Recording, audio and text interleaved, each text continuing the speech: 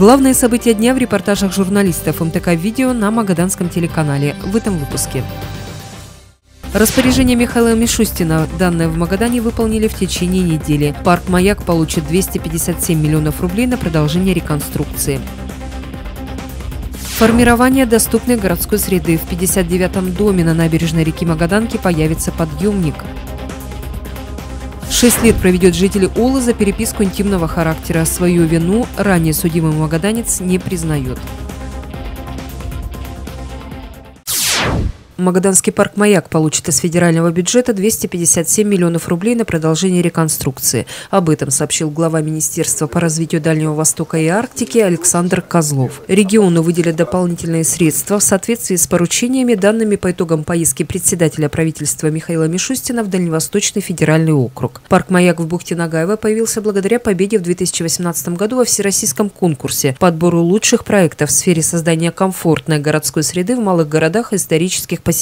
Авторы получили 100 миллионов рублей, еще 85 миллионов выделила Минвосток развития России по линии единой субсидии. Объект сдали 26 декабря 2019 года. На втором этапе благоустройства планируется построить автопарковку на 66 мест, спортивную площадку и реконструировать пирс. Второй этап оценен в 257 миллионов рублей. Работы начнутся уже в этом году, завершатся в следующем. В Магадане власти муниципалитета держат на контроле программу формирования доступной городской среды. На выездном совещании мэр Магадана Юрий Гришан и подрядчики проверили два объекта по улице Портовой и Набережной. На первом специалисты почти завершили строительство пандуса, чтобы люди с ограниченными возможностями могли выходить на улицу. Также в подъезде поменяли двери до ширины коляски. На втором объекте другая ситуация. Здесь другое решение вопроса. Э, невозможно было сделать пандус. Здесь будет установлен э, лифт. И с помощью лифта э, инвалида-колясочника родственники будут опускать вот на нижнюю площадку и дальше тут вот гулять по двору, там посещать какие-то общественно значимые мероприятия, лечебные учреждения и так далее.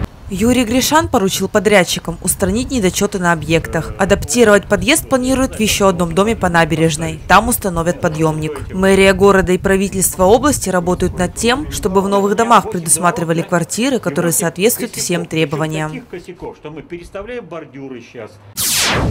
Детской зимней горки напротив Магаданского драматического театра больше не будет. Срок годности конструкции истек. Игровой объект установили 12 лет назад, еще в 2008 году. Деревянные опоры со временем прогнили.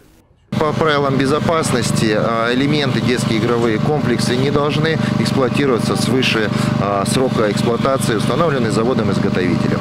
А, данная конструкция будет демонтирована, часть ее элементов пойдут на ремонт других форм, где они могут быть э, применены, а основные столбы, конечно же, будут утилизированы. Излюбленного игрового места для детей больше не будет. Но в Казаха говорят, что зимой здесь возведут снежную горку, как это делали раньше. О том, появится ли новый городок на этом месте, пока неизвестно. По словам специалистов, для возведения школы эта территория маленькая. В муниципалитете в ближайшее время решат, как обойтись с участком земли в центре культурного квартала.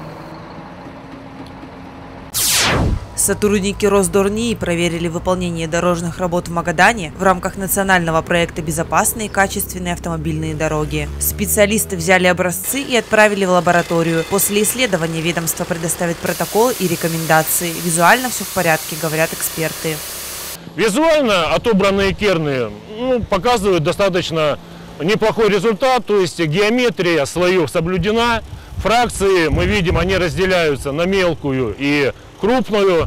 Ну а лаборатория уже выдаст точно, как говорится, диагноз. Сотрудники Росдорни работают в три этапа. Проектирование, мониторинг соблюдения технологий производства и диагностика участка дороги. Сейчас специалисты на втором этапе. После того, как проект отдадут в эксплуатацию, эксперты перейдут к диагностике. Произойдет это ориентировочно в ноябре.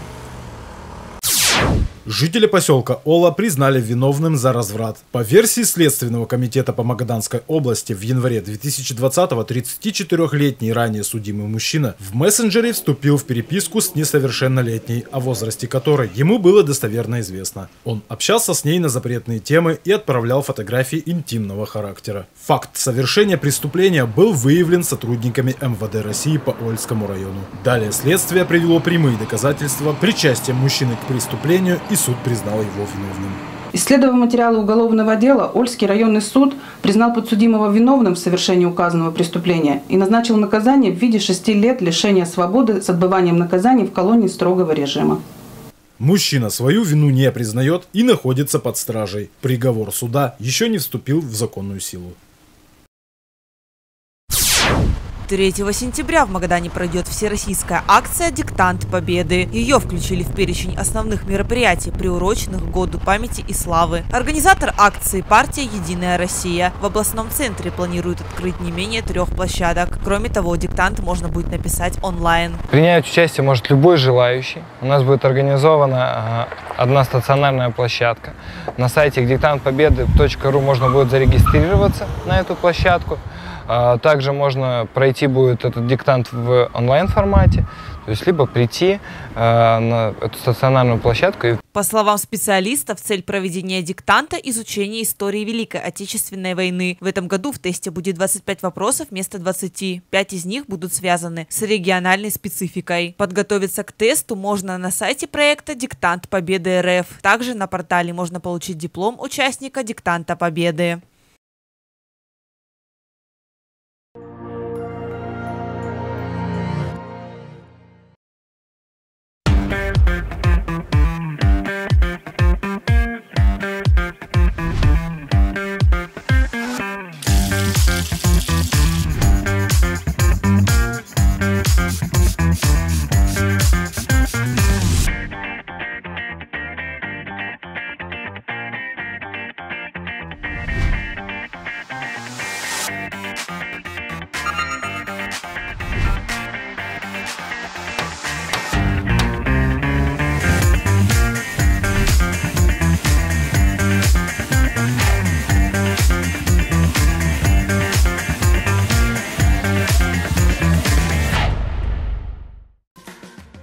Красиво ДВ.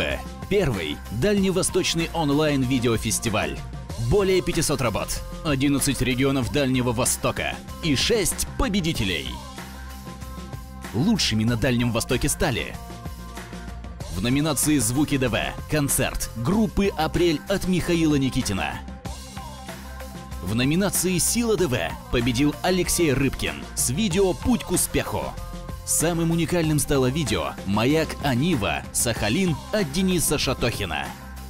Вся красота природы Дальнего Востока в ролике Эрнеста Леонидова «Камчатка Travel». В номинации «Характер ДВ» лучшей стала короткометражка Булата Базарова «Ньюуса». Специальный приз жюри и 200 тысяч рублей снова отправляются в Камчатский край Эрнесту Леонидову. Народное гран-при и 300 тысяч рублей получает Николай Степанов за ролик «Якутский холод». Твой удивительный край, твой Дальний Восток. Смотри «Красиво ДВ». Магазин «Тысяча запчастей». Мы сами закупаем и разбираем автомобили в Японии и привозим в Магадан только самые нужные запчасти. «Тысяча запчастей» в наличии на Берзина 12. Приходите, поможем с выбором. На связи с вами по телефону 61 75 75. Поехали. Раз, два, три. Жизнь – это череда решений. И на многие решиться гораздо проще, чем кажется. Нужно осознать раз, решиться два, сделать три. Теперь слышите? Как счет раз, два, три. Иногда изменить чью-то жизнь может самое простое решение. Покупая значок «Красная гвоздика», вы помогаете ветеранам. Расцветки и фактуры, которым позавидуют ведущие кутюрье планеты. Шикарные обои производства Италии, Германии и России. Богатый выбор и безупречное качество. Мастерок. Магазин правильных решений. Карла Маркса, 62. Друзья, подписывайтесь на рекламный инстаграм-аккаунт «Рекламная лавка Магадан». Здесь всегда свежая и актуальная реклама, услуги, объявления и вакансии нашего города. Будьте всегда одними из первых в курсе всех акций, распродаж, поступлений товаров, новых услуг, свежих вакансий и еще массы интересных и нужных объявлений. Только проверенная реклама из первых источников. Добро пожаловать в инстаграм-аккаунт «Рекламная лавка Магадан». Магазин «Контрактные автозапчасти» реализует протестированные автозапчасти для японских автомобилей в наличии от японской компании SMS Export Japan. К приобретаемым вами моторам прилагается видеотест работы двигателя, проведенной японской компанией. Предоставляем услуги автосервиса. Действует гибкая система скидок. Регулярные поступления товара по разумным ценам. По предоплате – скидки. Ждем вас по адресу улица Кушзаводская, 12 во дворе сервисного комплекса «Миля». Телефон 8 914 850 40 50.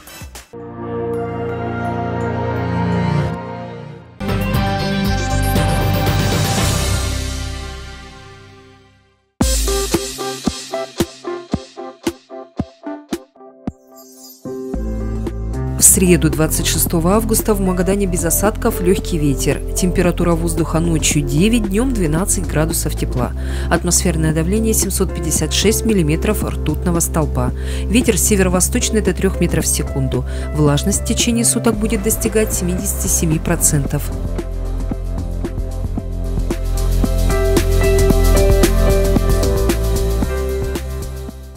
Склад-магазин строительных материалов «Крас» представляет гипсокартон и комплектующие, сухие строительные смеси, древесно-плитные материалы, лакокрасочная продукция, пиломатериалы, гровельные материалы и крепеж в ассортименте. Осуществляем доставку по звонку. Телефон 63 66 92.